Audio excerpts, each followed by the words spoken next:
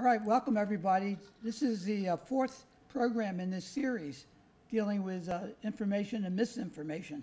We are very fortunate to have two uh, really great researchers and experts in this area who will be uh, discussing the, uh, the way in which misinformation can affect uh, people, so many people who go online. So let me introduce, first of all, Emily Brown is the uh, coordinator of library research and instruction at Bristol Community College. She is interested in how information can be manipulated and distorted and how people use this information to spur unrest. She has worked with Susan, Susan Mort over the last few years to incorporate information literacy into the classroom as a weapon against these unethical uses of information. Susan, Susan Mort is a research instruction librarian with an avid interest in mis disinformation and how people self-radicalize via echo chambers using the social media. this is a very important, as I think everyone knows. Too many people are getting sucked in to misinformation. I think what we'll hear now will help us sort this out. Thank you. Here, here. Hi, everyone. Welcome to our presentation on misdisinformation.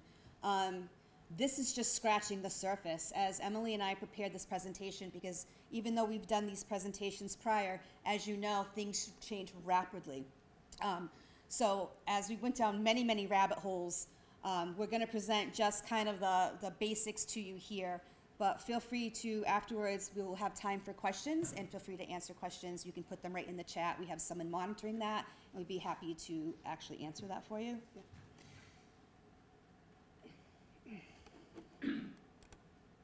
So we just want to take a second and say before we begin, while this is not necessarily a political conversation, many pieces of propaganda and misinformation originate in our political beliefs or because of our political beliefs. So what we are doing is we are just trying to kind of like cast a wide net and understanding of how these things, misinformation and propaganda, can really work in the real world.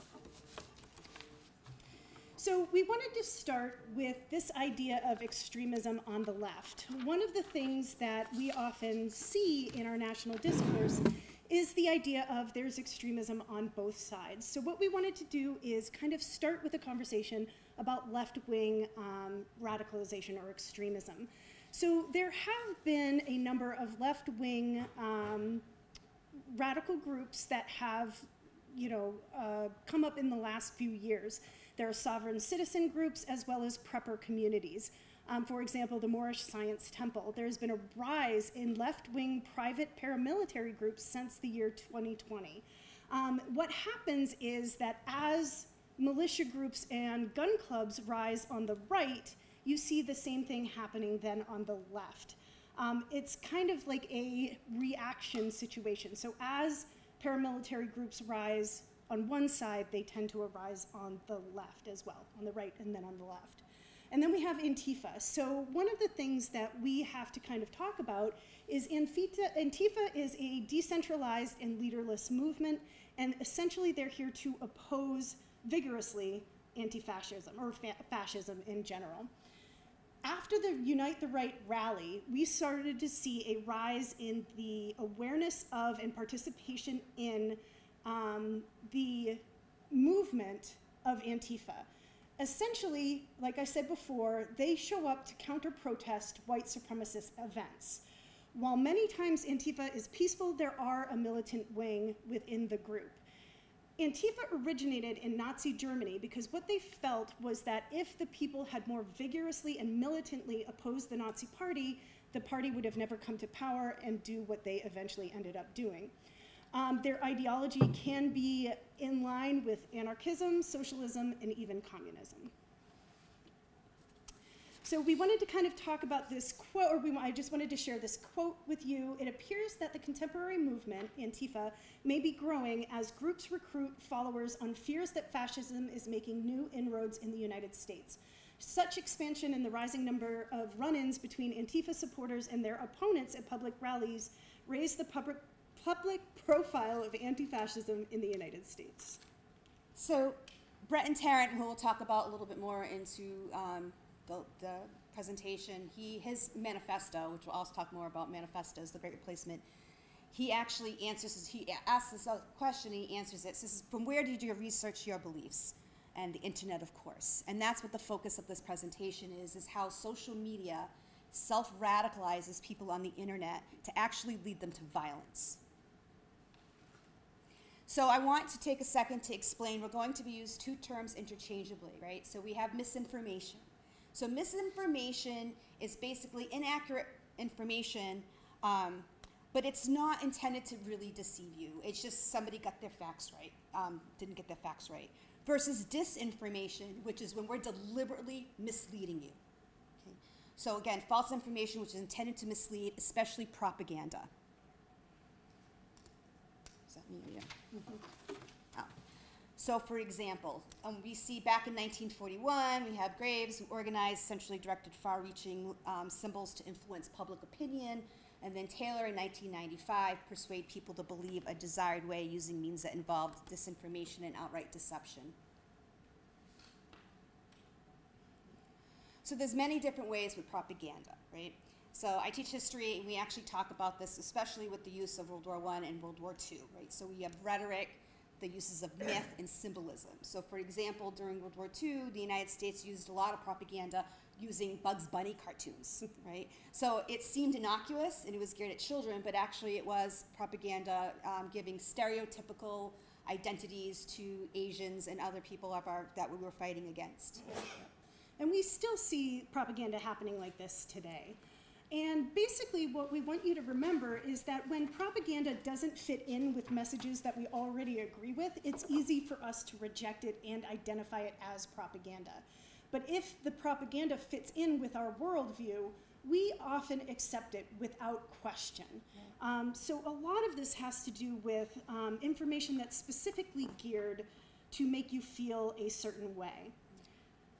And what's interesting, one of the things as I'm on social media myself and a librarian, I always feel like I'm putting out fires. The recent one is with the rising gas prices, where people are blaming the president. And no matter how many times I show relevant information with valid sources that it's really a supply and demand problem, has nothing to do with the president, people don't want to believe that because that's within their their scope of reality. Right. So again, it creates this fictional reality. So it must draw the listener into beyond the speech a piece of writing, causing internal conflict and reinforcing prejudice. It must highlight that change is possible through the action of the reader or listener. It must convey the, the impression of being objective truth. And it must use overt visual, rhetorical, and symbolic tools that the society as a whole will understand. And you know, this works for a lot of reasons because we have a, a, an innate need to belong, right? Humans are group animals. We want inclusion in a community. We um, trust that community because we belong to it and they share our ideas. We consume and share information that often coincides with what that community already believes. And we see that. So what we have tend to see is what we use the term as an echo chamber. So what happens is if you find your tribe on the internet that's espousing the same beliefs you have, you're just getting that one side of the coin. You're not getting two sides of information. Um, so basically, what happens is just reinforcing your belief systems, and what happens is leads to self-radicalization. Yeah. So, and as Susan just said, this works because of in part tribalism, right? In part of our own personal biases.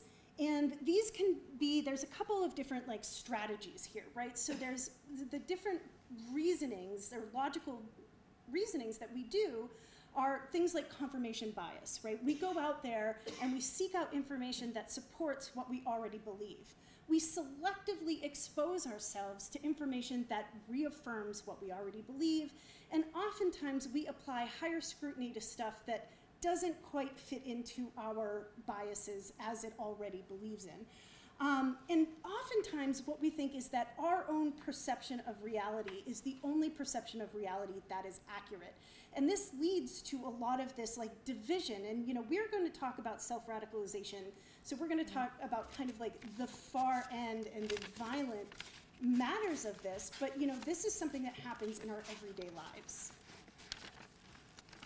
So we're going to move now into self radicalization. So, self radicalization is the phenomenon when individuals radicalize by consuming extremist literature but have few, at first, formal ties to any specific terrorist organization.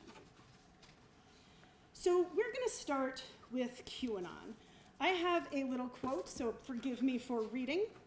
You know that a small group of manipulators operating in the shadows pull the planet's strings.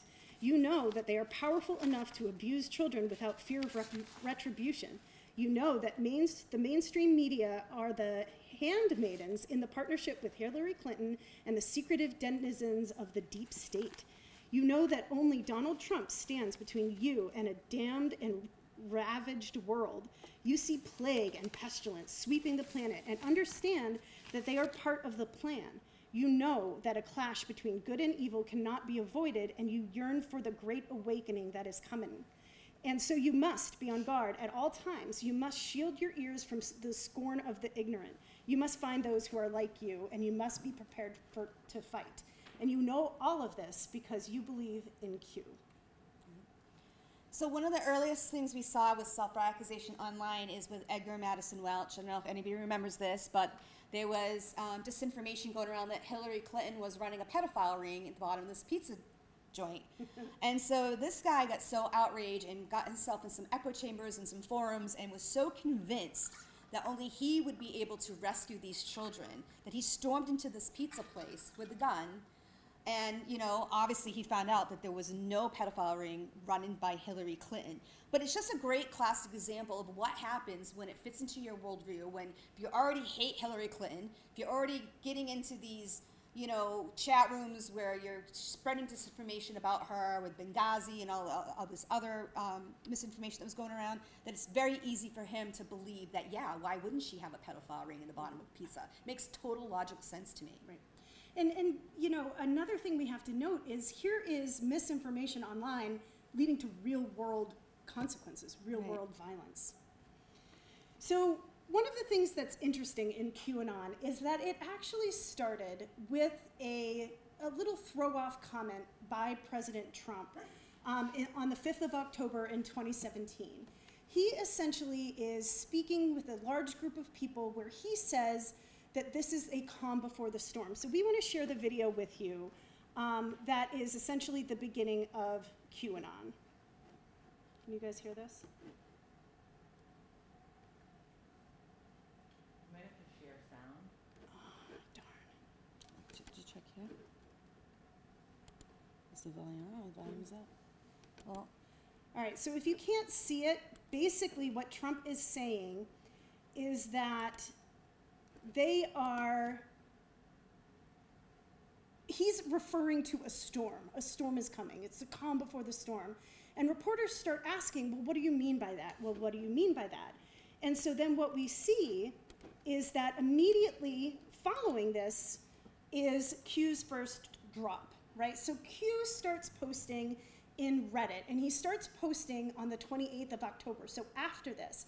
And so people who believe in Q believe in it because it is so easy to read into the different um, clues that he leaves, right? So Q can do ominous predictions, and just like Nostradamus, we can make that fit into. I was just gonna say that, like when you go get your tarot read and they leave it so vague, like you will meet someone.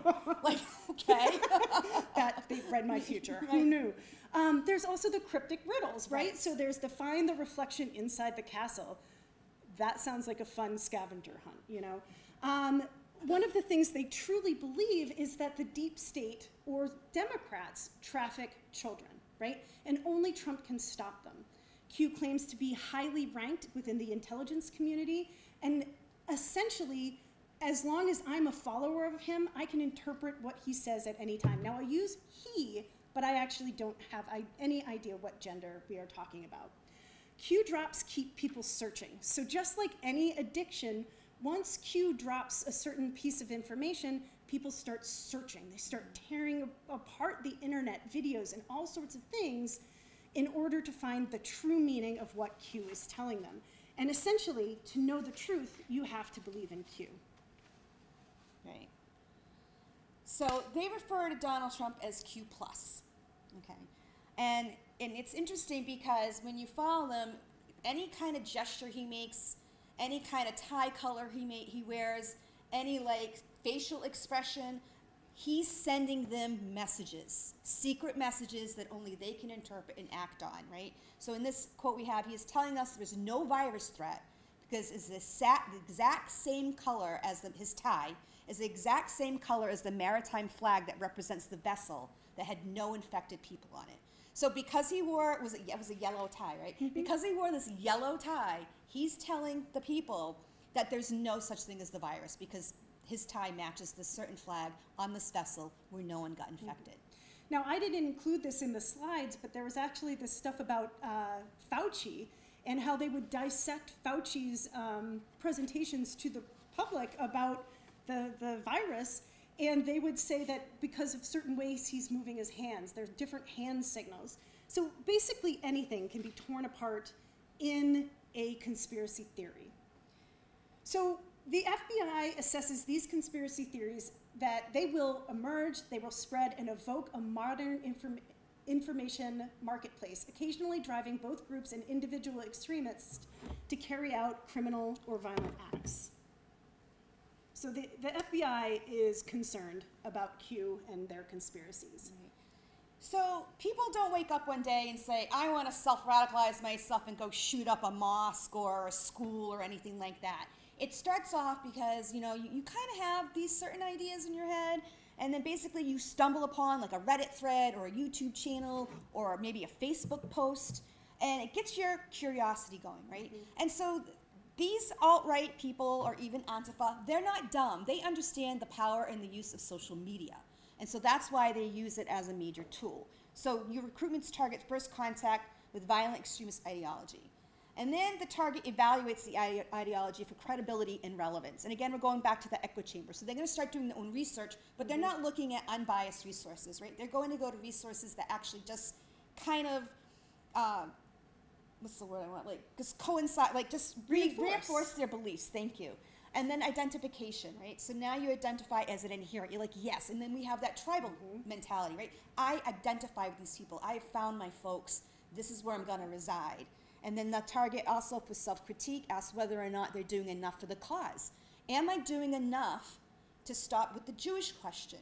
Or am I doing enough to make sure we're, you know, getting enough like white babies born in the world? I mean, mm-hmm. these ideas that I'm saying sound really weird to you, but I'm going to tell you as we go on in this presentation, these are just a skim. They're, they're actually like not as crazy as some of the ideas we came upon. Right. And then finally, you have the decision to act. And I also want to just mention something. A lot of times, too, we have what's called lone wolf terrorism, which we'll talk a little bit more. And that's just the one individual. It just takes one individual to have these steps curiosity, consideration, identification, self critique, and then finally the decision to act to wreak havoc on society. So again, just some behavioral indicators of self-radicalization. So again, searching behavior is indicative of the cognitive opening. So I'm doing searching, like you know what, um, uh, I feel that we should not let any more Hispanic people in the country. I'm going to start doing research on it and the reasons why we shouldn't let that expression of disillusionment, why I think you know they're taking our jobs, you know that sort of thing. And so now I'm going to start seeking alternate information venues that actually just reinforce my belief systems. And then you have detachment. So now they're take they're kind of moving away from their peers, their family, and they're going more and more down the rabbit hole online and aligning with people who think just like them. Perhaps even meeting up with some of them at local spots, right? Or maybe a rally. Um, then begins to proselytize, right? Now they're preaching to the choir, they're spreading the message, and now they also are picking fight with other community members. So ano- another presentation we do, we talk about trolls, right? So this is some kind of a view of trollism where you could post like, well, you know, they're hardworking people coming from Mexico. You know, they're taking the lowest of the low jobs, this and that. But now you're going to start picking fights. Then you have peer immersions. Well, some of them are actually leaving home to be closer to their peers that share the same ideas. Um, seeking new ways to demonstrate commitment to the new ideological commitment. Maybe it's by attending a rally, creating a rally, starting social media threads with disinformation. And then finally, the ultimate and the worst step is planning and execution of violence. So you're attempting or enacting violent action, issuing threats online in real life, um, and starting to take practical steps to um, carry out attacks. And so we wanted to say that this isn't a modern event, right? This isn't a modern thing. We're going to go all the way back to 1903 to talk about, and we could probably go, Go much, much- further, much further. further. But for the sake of brevity, kind of time. for the sake of brevity, what we're going to do is we're going to talk about just the last century or so. Um, and talk about two major things that have radicalized and continue to radicalize people to this day. So we're going to start with the Protocols of the Elders of Zion. So this is a Russian serial that was published in 1903 in a essentially a magazine. And what you'll under, come to understand is that as you look at modern radicals, they're often, often quoting the ideas that came about in the Protocols of the Elders of Zion. So it's essentially a work of fiction. It's intentionally written to blame Jews for a variety of ills. Those who distribute it claim that it documents a Jewish global conspiracy to control the world, and essentially their leaders, the elders of Zion, never actually existed. But why it works is that it's written in such a way to get people to actually believe it. It is written like the minutes from a meeting within Jewish leaders where they describe their secret plans. So this book was published as an expose, a see what is happening behind the, the lines, right? What's happening under the surface that you need to be aware about. Then we have people like in the US, Henry Ford actually distributed this tract through his newspaper, the Dearborn Independent. So he basically shares this ideology and spreads it within the United States. He also published The International Jew, and it was a book that included this series and was translated into at least 16 languages. So now we're going to talk about the Turner Diaries. So the Turner Diaries are or is known as one of the best or the best known racist novels written in English basically since the fall of Nazi Germany. So the Turner Diaries, if you're not familiar with them, is a post-apocalyptic diatribe about a group of right-wing pro-gun extremists who want the world to be rid of um, pr- pretty much anybody of color who is non-white. This is a tract that calls for bombings. Um, in fact, in the Turner Diaries, there is a very explicit description of how to build bombs using fertilizer and things like this, which we will call back in just a second. At the end of the Turner Diaries, Turner, the main character, um, dives his plane into the Pentagon, essentially ending what we know as democracy in America, bringing about the space for a right wing totalitarian, free white society. So here is a quote from the Turner Diaries, which was published in 1978. If the white nations of the world had not allowed themselves to become subject to the Jew, the Jewish ideas, to the Jewish spirit, this war would not be necessary. We can hardly consider ourselves blameless. We can hardly say that we had no choice, no choice to avoid the Jews' snare. We can hardly say that we were not warned. And so this is what we start to see this, this discussion of we have to take action, right? That we need to take a stand or we're going to lose everything that we identify with as who we are.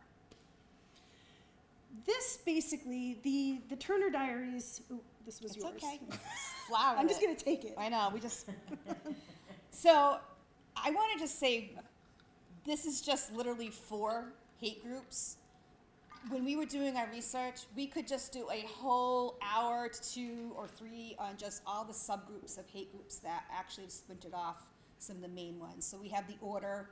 Um, they're looking at assassination, murder, and robbery. We have another one called the Aryan Republican Army. Again, robbery, Elm City, explosives. You have the National Socialist Underground and Sons of Odin. And what they all have in common is that they're using use of social media. So I just have some notes I just wanted to talk about. So, for example, the soldier, soldiers of um, it's actually the soldiers of Odin. They started out as a small Facebook group. This group actually comes out of Europe in response to the migration that was going on um, during the last couple years. And so it actually took off in the United States from a handful of followers within maybe six months to over a group of 4,000. Um, and it's interesting because within these groups, and that's one thing I was talking to Emily about, is when you research these groups, they come, they're not, they actually come from different backgrounds. And what ends up happening is these groups start infighting and ultimately break up, which for us is kind of good news. but just to give you an idea for the subgroups that are within a lot of these um, hate groups, you have white supremacists, which includes Klansmen, racist skinheads, neo Confederates, neo Nazis. And then like, the Sons of Odin, you have Norse paganism, um, which uh, itself, Asatru, is not white supremacist intrinsically, but it's drawing white supremacists to it. Um, you also have anti Muslim bigots, anti government extremists. And then you have the percenter movement, which is a growing wing of militia movement that shares its conspiratorial anti government ideology. So it's interesting to note that they don't all come from the same background, but what unites them is that tribal that we talked mm-hmm. about, where you're finding your people, that you, even know where your background comes from, you still hate mm-hmm. migrants, Jews, blacks, Yep. Hispanics, anything that doesn't i- idolize the white narrative. Yep. And, you know, just to say that a lot of these have common writings, right? So the Turner Diary acts as sort of a Bible, an inspiration. So the order is named after the order in the Turner Diaries, which was actually the group that ends up th- overthrowing the government. So they, they, they gain inspiration also from common sources. And so we're going to talk about Timothy McVeigh. Um, before 9 11, and actually to this day, Timothy McVeigh is responsible for the largest piece of domestic terrorism in our history. He killed 168 people um, with a truck bomb built very similarly to how it was described in the Turner mm-hmm. Diaries. What was different was that McVeigh made it bigger than what was described in the Turner Diaries. So Timothy McVeigh was a radicalized uh, ex army person who used to tr- travel around to gun shows. And at the gun shows, what he would do was try to share the Turner Diaries and share these things with people. There's actually video of Timothy McVeigh at Waco, Texas, as the siege on the compound at Waco was happening. And McVeigh was sitting there selling buttons and selling tracts of the Turner Diaries and for some of these far right militia groups. Um, so Timothy McVeigh was a adherent and often shared the ideology that was found in the Turner Diaries, and was, you know, essentially responsible for, like I said, the biggest incidents of domestic terror in the United States. And I want to point out that when he was arrested, the Turner Diaries was opened to a page that was highlighted saying that the real value of the attacks lie in its psychological impact. So they want people to see this as a inspiration. And this is what we're going to kind of talk about is how acts of violence that we find abhorrent and terrifying are often used as inspiration to perpetuate violence. So, some of the blogs, newsletters, websites that have become um, very um, influential in the alt right movement, uh, one of them is the Daily Stormer.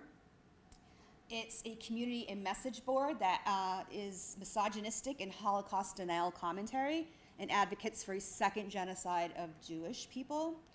Then we have the Vanguard News Network, which is also an anti Semitic and white supremacist website and forum described by the Anti Defamation League as one of the most active white supremacist sites on the internet. And then we have, so you know what's interesting is when I was doing research, I kept learning these new terms. Mm-hmm. One of this was identity Evropa, and it's the forefront of the racist alt right's effort to recruit white college age men and transform them into a fashionable new face of white nationalism. So rather than generating people of color, this campus based organization focuses on raising white racial consciousness, building community based on shared racial identity, and intellectualizing white supremacist ideology. And we just want to mention that flyers for Identity Evropa were found on UMass Amherst campus as well as other campuses in the state of Massachusetts. So when we're talking about white nationalist channels, what we're really talking about is different channels that have become an easy place for white supremacists to share their ideology, to spread their ideology. Because what happens is these forums are known as the last bastions of free speech, right? These are places people can go and say whatever they want without the fear of censorship. And so these should be familiar to you. We've got Gab, Discord. I always want to say parlay, but as my husband always tells me, they're not French. I guess it's Parler. the 4 or 8chan or 8kun and Telegram. Right. All of these things are, are channels, right? Like uh, networks Right. that they use. I just want to say I drove down a couple of uh, rabbit holes with 4chan, and it was very misogynistic. And I don't. I mean, honestly, it was basically that white women deserve to be raped. Why should we have to pay for anything or do? I mean, it was. I was as I was reading it, like it was just quite horrifying.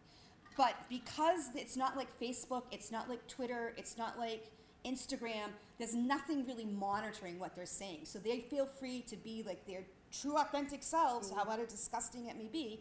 And so it's kind of uh, interesting to go down some of these rabbit holes.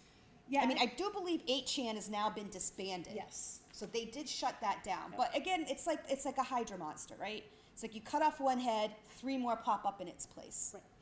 And, and so the, the community looks for places to spread their ideology. So one of the things they do is they utilize the YouTube algorithm. They use encrypted chat apps like Telegram and Discord so that they can stay anonymous. They take advantage of misogyny and things like Gamergate, where there was a huge backlash against female gamers, where you know the, the far right used this to propagate misogyny and violence against. Can I just women. mention that my daughter is a female streamer, mm-hmm. right? And she's quite got a quite a large following, and she actually was targeted, and it was horrible. It was absolutely horrible. So she had to go to great lengths to keep her real identity, right? So a lot of gamers use fake names. You know, she, she went to great lengths to kind of hide who she really was and all that other stuff. But it is real, and I saw my daughter being a target of it. It's it's scary, right? So internet the internet boards are things that they would use as well. So we wanted to take a second and talk about how YouTube really works. And YouTube has come um, under some fire lately, essentially because what they do is what all social media networks do, is they want you to stay on their site. And what that means is that the more extreme what you're watching, the more likely it is you're going to stay and watch it. So this is what experts have called the radicalization spiral of the YouTube um, algorithm. And as Susan was joking earlier, I'm very afraid of what YouTube will now suggest for me after we've done all the research for this The algorithm. particular. We'll talk about the algorithms. Yeah. Ooh. Um, but essentially, you know, it, it creates this platform where if you have something that's minorly racist or minorly misogynistic, it puts you back into this. Um, sorry, there's a phone ringing. I was not expecting that. Um, it, it allows you to kind of continue down that rabbit hole where you're kind of saying, like, oh, this person's interested in misogyny or interested in um, racism or using racist terms, then it keeps feeding that information back in. It allows for recruit, recruitment, right, through videos that are propagated by specific um, groups, and it essentially can promote radical white supremacy. So algorithms are essentially used so that people get for Can, can you just go back one point? Because I just wanted to make a point before I get interrupted. So Gavin McInnes, who is mm-hmm. the founder of the Proud Boys, when his YouTube channel has probably the most hits of any kind of alt-white supremacy, and it was through these YouTube channels that he gets the biggest followers. So I just want to show that it's no joke. Right. So sorry. Just, no, you're fine. yeah. So the algorithms, right? So algorithms are in everyday life. So for example, if you mention, I want to go maybe get a flannel shirt from LL Bean, look at your Facebook, look at your Instagram. Now you're just getting tons of LL Bean things. Or once you click on anything, you're going to start getting that suggestion. Social media sites, as she had said earlier, they want you to stay. They don't want you to get off their sites. And so they're going to keep feeding you things that you like. And what happens is, inadvertently, what happens is you get into, again, I use the term echo chamber. So, for example, I think it was Yale, was it Yale that did this? Or Harvard? I can't remember what college that did it, but they created two profiles. One profile was clearly just um, liberal democratic, and so that's all that they clicked. And so anything like, say, for gun control, that's all Facebook or Instagram would feed them with stuff that fit into their ideology. Versus they set up another account that was actually very um, uber conservative. And again, so that's the way Facebook and social media works, is that they're going to feed you what you want to hear and see. Right. And I, I just want to point out that the Facebook whistleblower that was testifying before Congress just a few months ago was talking about how after the election, Facebook turned off its protections against misinformation and things like this. So while we thought that some of these companies were making an effort to stop it, we are actually seeing more and more and more people, you know, that, that it works for Facebook. So Right. that's why they keep it. Oops, wrong way. So now we want to talk about some um, a particular network that was set up in order to um, spur kind of hate speech, and that is the Right Stuff Network, home of the podcast The Daily Shoah. Right.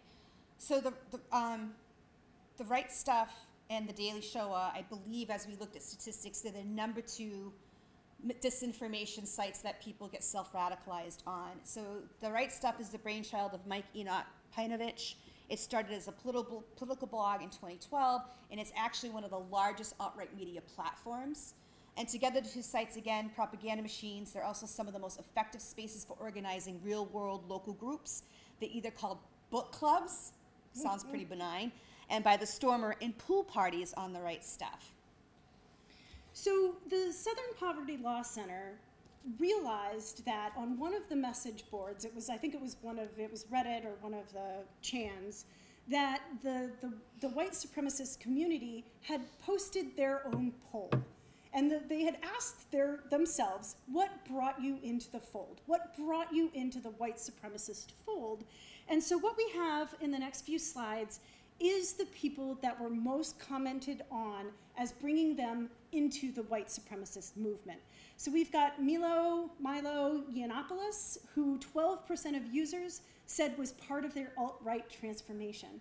So he was somebody who was flamboyant. He would go to college campuses in order to kind of like stoke a little bit of you know unrest and um, just some real divisive speech. Became like what we would say like a social media influencer, right? He I had the that. fashion, he had the cool haircuts. Glasses. Right, right. Um, then you have something called red ice. And red ice was essentially something that started out very similar to um, Alex Jones and InfoWars, right? It, it talked about the paranormal, talk, talked about conspiracy theories, and then it essentially became a white nationalist platform that is quoted by white supremacists themselves as one of the reasons they were uh, radicalized. We have um, Andrew Auernheimer, who is a neo Nazi white supremacist. He's famous for his internet trolling and extremely violent rhetoric advocating genocide of non whites. He was listed as extremely influential. oh, someone needs Oh, to somebody- mute. Somebody needs to mute. Um, Can you deposit that check into your account, hold on. the, the taxes? Laura, Laura, you're not muted. you're muted. not muted. so Laura's our, co- our, co- our colleague. colleague, and so she'll no also be presenting in the spring on Yes. misinformation uh, in health sciences. And- so and, make sure uh, to catch that. Payback is a dish best served cold. Revenge is a dish best served cold, right? Payback.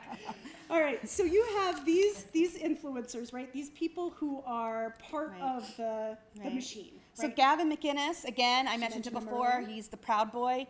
He actually said that his club wasn't anything to do with uh, anti-racism or white propaganda, but actually was a drinking club, in the same vein of an Elks Lodge, right? And he's taken pain to distance himself from the alt-right, but um, he's actually more what we would call like a Western chauvinistic. And so I found it interesting. Just recently at a rally, he was trying to find wives for his Proud Boys. And like, don't you want to stay home and cook and clean and bear children?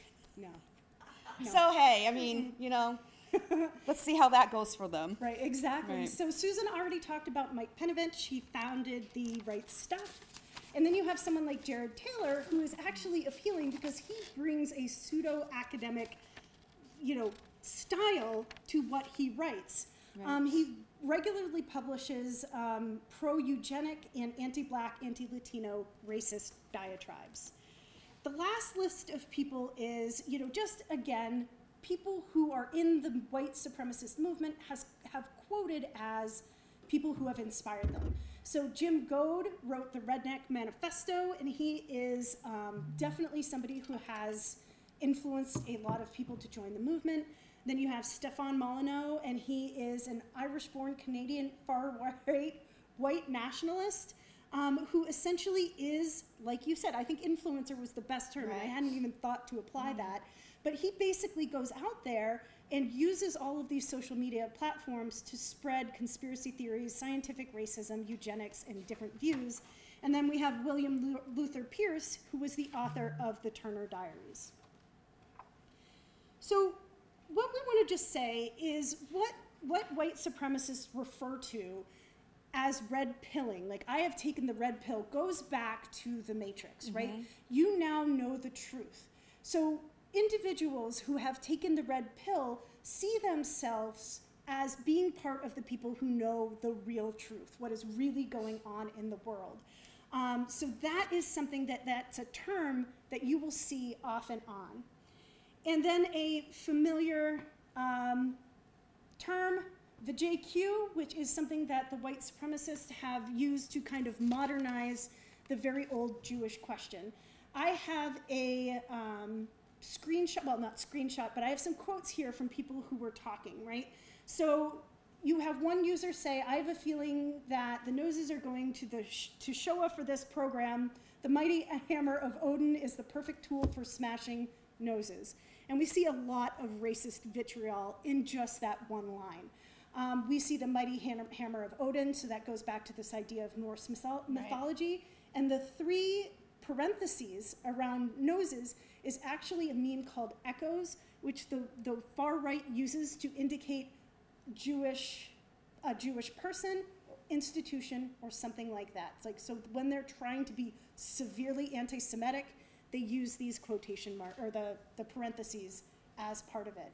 Um, you know, once you are woke on the JQ, there's no going back. You can't untake that red pill, and this just goes on and on. This type of anti-Semitic language. And they also have like again using like the things with the noses, the red pill. They also have a term called 1488. Um, 1488 is a combination of um, the first symbol is 14, which is the slogan is "We must secure the existence of our people and a future for white children," and the second is 88, which stands for Heil Hitler. So it actually is just a general endorsement for white supremacy. So they have all these hidden clues that only if you're within the movement that you totally understand and get it. So if I if I get a text when someone's being passive aggressive and they end it with an LOL, you know what I mean? Like you know you're not being funny, you're kind of being mean, but it's kind of mm-hmm. like the same ideology. And so they're using it by using memes. So by taking pictures and putting anti-racist slogans on it and making it kind of funny, they're kind of trying to soften their message. But what they're doing is they're drawing in people, particularly young people. It appeals to them, right? It, it's their sense of humor anyway, just mixed with racist ideology. So this is an example of Pepe the Frog, um, which has been essentially like um, taken over by He the was a, right. yeah, he was a very benign caricature that this artist had created. That now this artist has basically killed him off because he was horrified Right. that his his his art had been taken into the wrong direction. Right. And so here you can see it. I keep thinking this is Idi Amin, but it's not. I think it's Pinochet. So um, you can see on the left, you've got Vlad the Impaler and Pinochet, you know, two very cruel, despotic leaders who are put together at, or like held up by the right as, you know, marks of people who we should respect. Then you have the image on the right, which is it looks as if mid massacre Pepe is reloading his weapon. This is a white genocide meme that was taken um, from the internet, and basically, so this is the kind of thing that you would see as a as a meme that people on the far right would share. So, what we saw was there has been a fracture of the alt right movement, and unfortunately, that has led to a far more violent um, reality. So, in 2018, the Unite the Right rally um, happened. Heather Heyer was killed. Or, no, wait, that was Charlottesville. I'm getting my far right um, things hard. mixed up.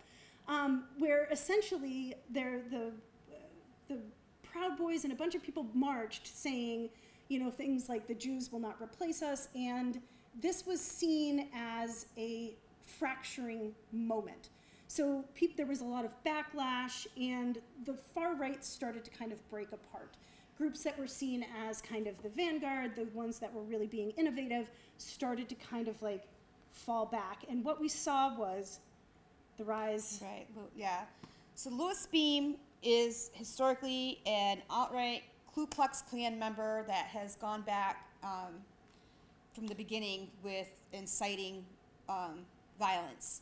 It was in 1992, however, that he started what he called the leaderless resistance. It's also known as lone wolf terrorism. So basically, when Ku Klux Klan, especially in the late 60s and the 70s, they were easily infiltrated.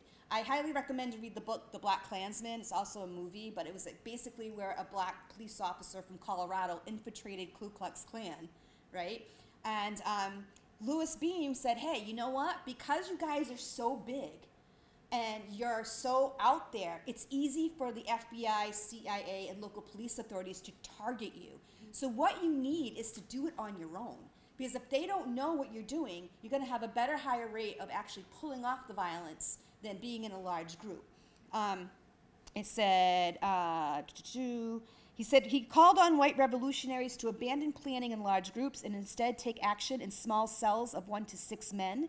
The basic idea was to avoid the destruction of revolutionary organizations when they were infiltrated or in other ways compromised by law enforcement, limiting damage to a single cell at once. Mm-hmm. So, by utilizing the leaderless resistance concept, all individuals and groups operate independently of each other. They never report to a central headquarters or a single leader. Mm-hmm. And so, with this ideology, we actually start seeing more lone wolf terrorism in the United States.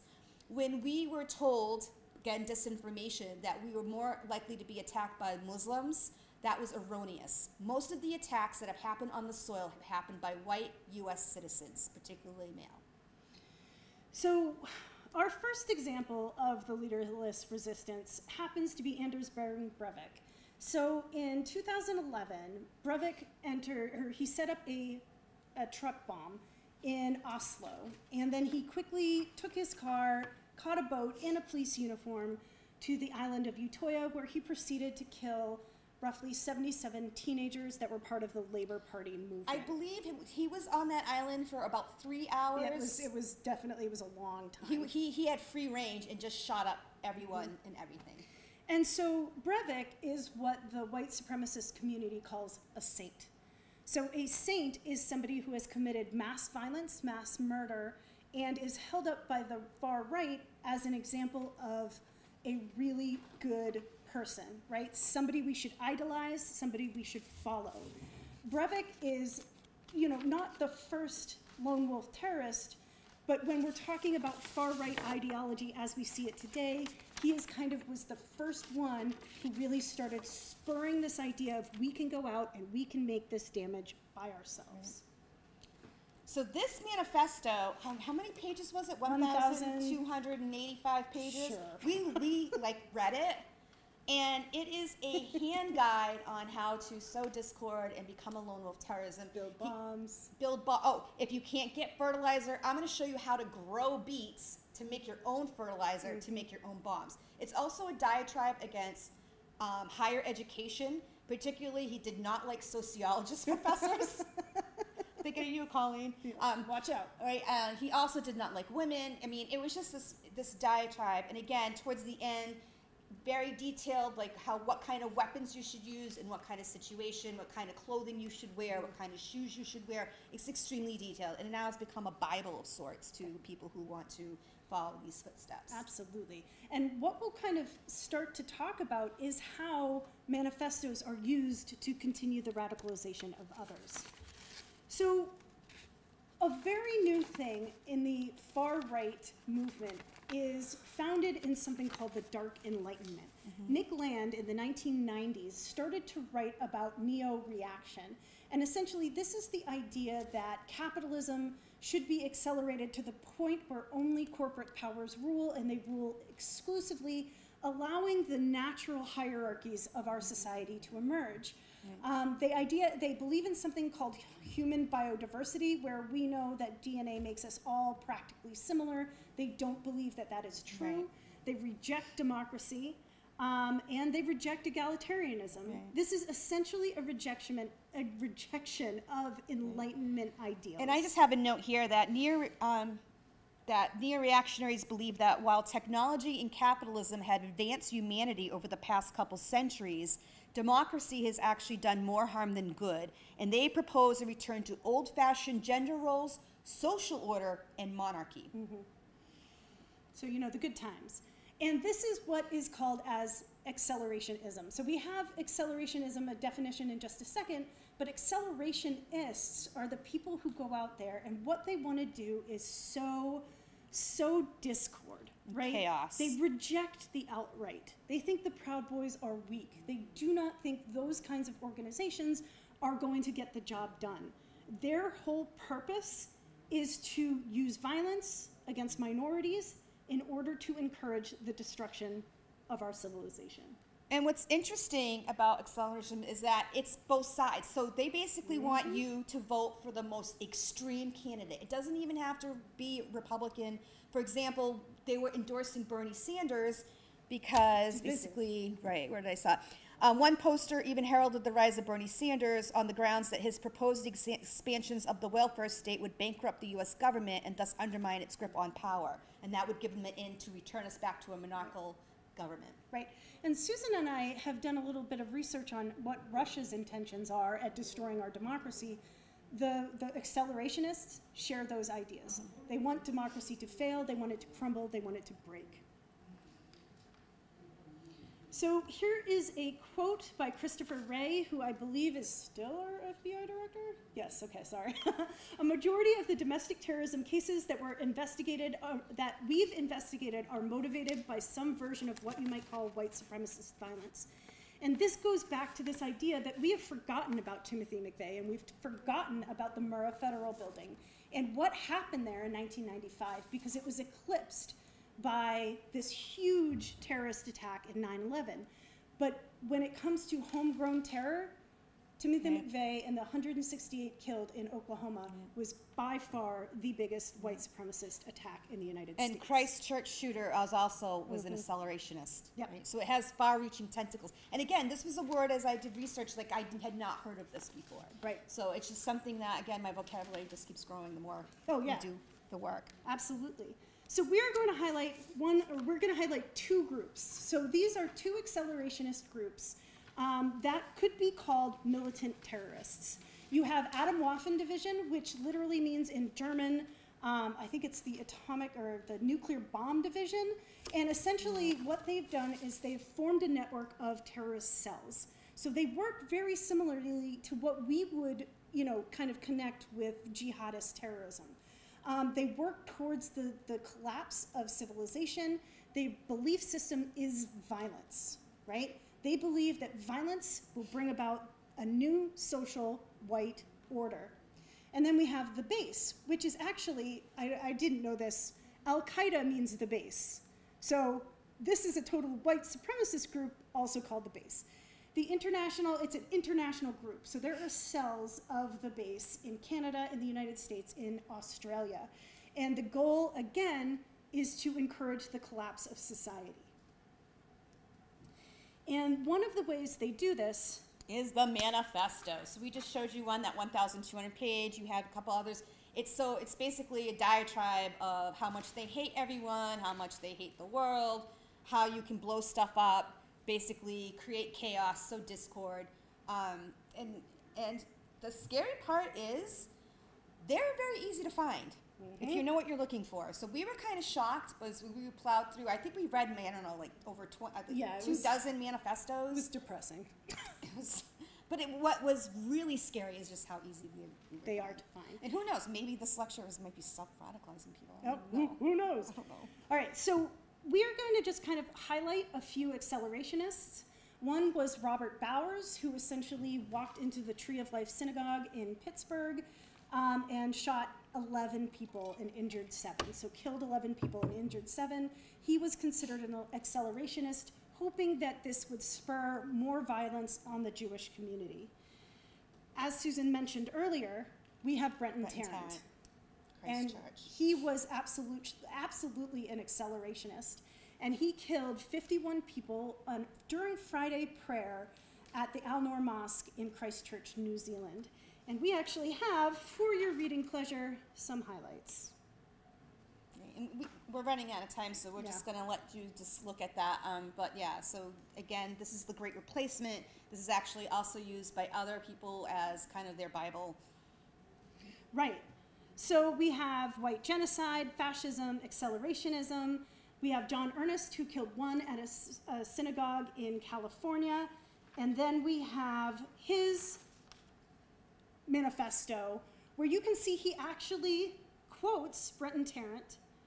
He refers to Brenton Tarrant as an inspiration for his own attacks.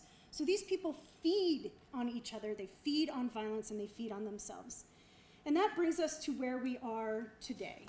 Um, so, as we look into the future, what are the things that we can expect? Um, so, one of the things that we need to kind of understand is how the far right is using our existing institutions in order to radicalize and train each other. So, the base, for instance, encourages people to join the National Guard or the Army Reserves in order to get the, the training, the militant training, that they can then take back to the white supremacist organization and train each other. And this has historical. I know, I was like such a neck. So there's historical precedent because the fall of Rome happened because one of the Gothic kings, Alaric, he actually was a Roman soldier. So by becoming a Roman soldier, he took back the tactics to his people. And they were, eas- they were easily ready to fight the Romans because he had that tactical knowledge, right? It's like playing for a football team, like, you know, you had Tom Brady playing for the Patriots and going to another team, and you're taking all that knowledge and how that mm-hmm. team plays, how the individual player play. Absolutely. And so they, they're using that to their advantage. And on Friday, Kyle Rittenhouse was found innocent of all charges of killing two people um, in, oh gosh, what state was that? I'm forgetting. Kenosha, Kenosha, Wisconsin, you. right? So in Wisconsin, Kyle attended armed. He crossed state lines, attended a rally, and shot two people who were protesting the um, unarmed killing of a black man. Immediately after this, we saw this kind of commentary in far right message boards. They say, we have got to permission to defend ourselves now. We don't need fucking permission, and we never did, because now it's legal precedent. We can protect our communities by referencing Rittenhouse v. Wisconsin. So basically, we're talking about St. Kyle as being called on the far right already. This is particularly emphatic example of the growing unification under extreme anti-government accelerationist goals that is occurring among the American right wing, and we're going to start seeing people use Kyle Rittenhouse as an example to show up armed at protests. This is Alex Newhouse. He is an uh, he is a scholar on right wing extremism, and he says the far right will feed on his example, build on his example, use it as a blank check to go do more radicalization and mobilization. It gives the extreme violent neo Nazi crowd a new excuse to make more and stronger connections to less extreme crowds. And then just this morning, we took a second to look at what the far right was saying about the person who ran into a crowd at a Christmas parade. And um, on the left, we see a post in Gab where Augustus basically says, Black guy running over a bunch of white children in a Christmas parade with an SUV, remove them all from this country, enough is enough. And just because we talked about misinformation, misinformation is already being spread about this attack. So it happens almost immediately, and we've talked that in other presentations that as soon as something happens, that uh, already they're already on the internet using social media to influence what people see and think. So we wanted to leave you with this quote. This is the face of radical, the radical right today. It will continue to persist so long as we, scholars, authorities, and practitioners, continue to misunderstand lo- lone, lone, that was a typo, sorry everybody, lone wolf terrorism and discount the dangers of siege culture coming from either keyboard warriors or misguided youth. So now that we've brought you down our deep dark rabbit hole, we're wondering if anybody has any questions. Hi, this is uh, Gabe Pereira. I'm up there as owner because I have a new new laptop. Um, what do you? What is the strategy uh, by the FBI or Department of Justice, uh, educators to do something about this problem? So, because misinformation is spread pretty much predominantly on social media, there's actually, we're visiting a um, law called Section 230.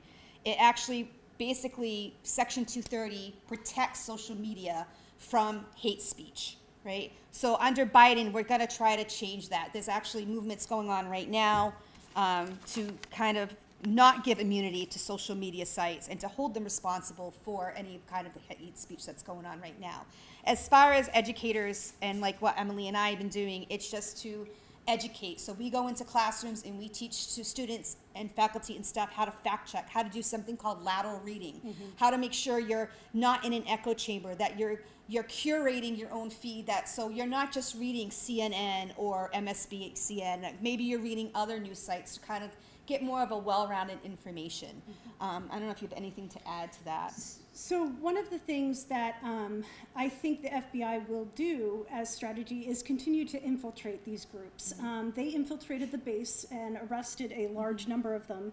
Um, there was a small cell in Georgia that was planning to murder a, a, an alleged Antifa couple, and they were found out and arrested before anything like that could happen. So I assume the FBI is going to continue with strategies that are sim- uh, similar to that infiltration, taking them down from the inside. Um, there is a great podcast out there right now that is all about the base, and it's called uh, White Hot Hate. It's from the Canadian broadcast, um, CBC. There's a question from Will Duffy. I Okay. don't know if you guys can see it or not. I So-. Has anything proven effective uh, in stopping someone from progressing on the radicalization spiral in large numbers? Um, if it's on, do you mean if you're if you're talking about YouTube? YouTube has been challenged to change their algorithm, but I think that it's still not doing what we would like to see. It's still suggesting further and further more extreme videos as you go. If you mean the continuum, I would actually be very interested in looking that up, Will. I don't know the answer off the top of my head, but I would assume that there are some strategies where people could intervene, which is why we shared the behavioral Right. indicators, right? So if you see somebody self radicalizing, these are the behaviors that they're going to display and that they're going to kind of mm-hmm. have. And I, I'm sure that there's some way to Well, intervene. honestly, at the end of the day, if you believe what you believe, and even if they shut down the YouTube channel, like again, it's the great headed hydra. Like it doesn't matter. There's really no way, unless you go into some kind of self deprogramming program, like they do with people who are put in these cults. Because that's basically essentially of you can view it is you get involved in these cult like Cults. Mm-hmm. behaviors. So yeah, I mean, either the, the extreme would be to get somebody out, deprogram them, but the reality is there really is no way to stop this. I wish I could tell you guys and wave a magic wand and we can stop all this hate, we can stop all this disinformation, stop all the misogyny, the hate of Jews, blacks, whatever. But the reality is this goes back a millennia and I just don't actually, I'm sorry, I'm depressing you, but Yeah. Well, and, you know, and I was driving here this morning thinking about like our own um, diversity, equity, inclusion Mm-hmm. movements. These are the very things that we do as academics, as people who want a fair society that is radicalizing people. And Right? then, and then what happens with that is we have that whole thing with the movement where, with higher ed, where they don't want us teaching. What is the word? I'm uh, critical race theory. Right. So that's the thing. Like, as much as we try to enlighten in higher ed, and then we're always going to have that pushback. Yeah. Go ahead. Um, I I have a question. Um, so you're talking about, uh, people wanting to join the military as a way to become more knowledgeable about working against government. And I was wondering if you read anything about anything that the armed forces or even local police, the places like that are trying to do to, you know, disincentivize those kind of people from joining um, Sure. So, so I don't know any off the top of my head, but that podcast does talk about a Canadian um, Army reservist who the Canadian the Canadian Army did no background checks on him, did nothing, and then in some light research that just lateral reading for this presentation, there is information out there about trying to stop militant white supremacists from joining the armed forces. But you know, with lack of a background check and like scrutinizing their social media, it's difficult. But yes, I think that there should be a, a system set up, and I will be happy to check to see what's out there in stopping these these attacks mm-hmm. and this this people from getting that training in the military. You know, and just leave you with this quote misinformation is a big part of our current polarization because it's hard to bring the country together when each side has its own facts and attributions of responsibility. It helps that some leading social media platforms have limited or banned like Trump's posting privileges, or they shut down like you know some of the other, um, who was it like Bannon, like they shut Yep. down some of his stuff. But it will not stop the spread of misinformation, right? Because his followers will just share falsehoods on their own sites, and misinformation will continue to divide Americans and poison our political environment. Yes, go ahead. I, I think we have to be careful about when we say each side. Because I agree. then, it- then it, then it appears like, well, there's no reality here, right? There's no Right. valid. The fact is, we have to look at the context. What are people saying? Right. Know, there is a, one side has more truth value than another We side. agree. you know? Well, and one of the things that we've found is that when when we have talked about violent white extremism, extremism on the right, we have been challenged with, well, why don't you talk about the violent white extremism on the left, or the the extremism on the left? And the, the truth is, it's just not there to the same I- numbers, to the same degree, to the same. The only example in all our research, and we dove deep, is Antifa. But when you look at the alt right, like I said, the groups and the subgroups and the cells, it's it's mind-boggling. And so I I know that we try to be fair as as librarians. We try to make sure that we're presenting facts, that we're using non-biased mm-hmm. resources. But I mean, the truth is out there. Like when I do when I do my information literacy classes on misdisinformation, I use memes with the mm-hmm. students. So I print out memes and I have them fact check. And I really try to be unbiased. But the, it's so hard to find liberal, democratic, misdisinformation memes. I mean, was I able to find a few, like kind of, but they were like partly accurate. It just that's all I can say. Like I try so hard to kind of like say this, but Well, it's and there, reality. there are fewer far left manifestos, mm-hmm. far left mass murderers, far, far left Timothy McVeigh's. I mean, the violent white right extremism is the reality that we're facing in the nation today. I mean, we have to, again, we have to look at the issues. If the left, left generally supports women and, and mm-hmm. men being equal, right? The right doesn't.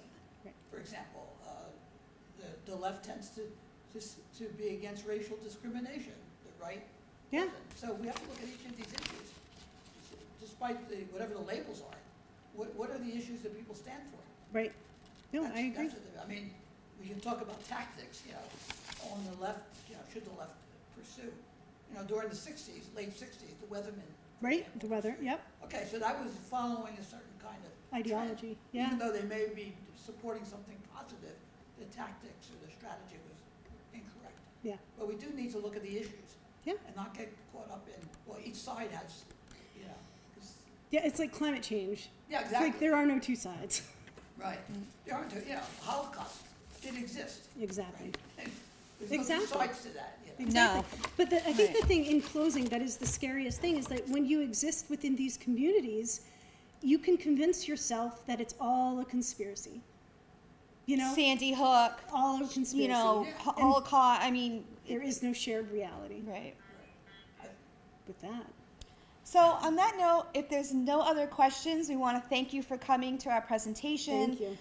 Um, I wish we could leave you on a happier note, but we all hope you have a wonderful, happy, and safe Thanksgiving. And um, I don't know. stay woke. Stay woke. I love it. All right, bye guys. Thank you for a nice presentation, great presentation. Thank you. Thank you.